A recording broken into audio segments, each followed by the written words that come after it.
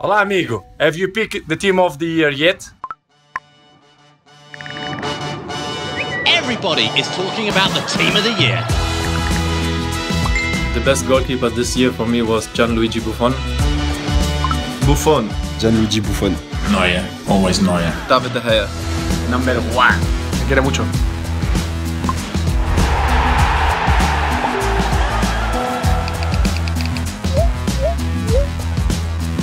In defense, I'm going Marcelo, Chiellini. Difensore Barzagli. Sicuro. No, per me è meglio Sergio Ramos. Sergio Ramos. Ehm... Marcelo. Alexander. Oh, grazie.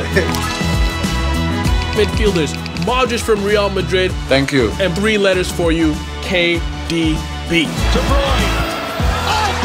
Il est à côté de moi, c'est lui.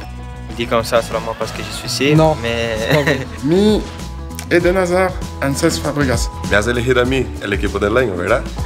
You have to put Vidal in the team of the year. Muchas gracias.